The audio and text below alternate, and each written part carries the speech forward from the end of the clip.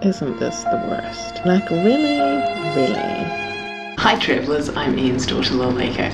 It's a good idea to be safe, or to be as safe as you can whilst you're browsing the internet while you're abroad. It's just a video about the virus. like, come on now.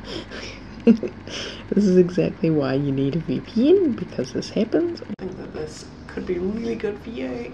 As I'm sitting here in Kuwait on my phone, turns out there are a few websites that are blocked. And sometimes it's news.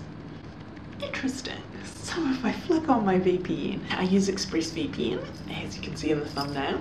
So you just flick that app open and then connect. So that then those websites aren't blocked anymore and you can read whatever it is that you're looking for. Also, I think using a VPN is really great when you're on a public Wi-Fi. I've been using ExpressVPN for years and I originally bought it because I was moving to live and work abroad in China and I've just continued to use it because there definitely are times when I'm like, what?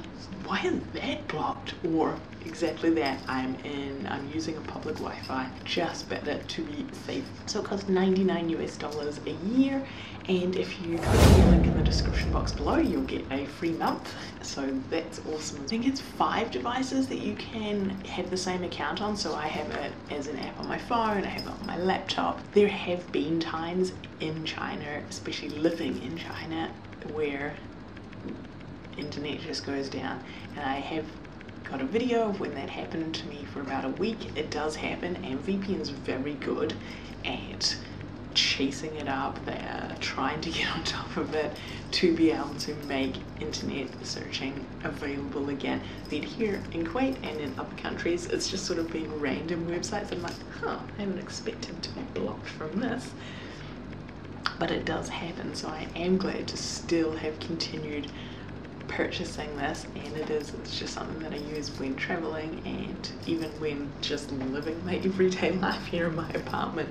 Occasionally I do need to flick it on to be able to search for things. There are definitely many times when it does come in handy so that's why I'm recommending it and it is something that I pay for out of my own pocket. This is not a sponsored video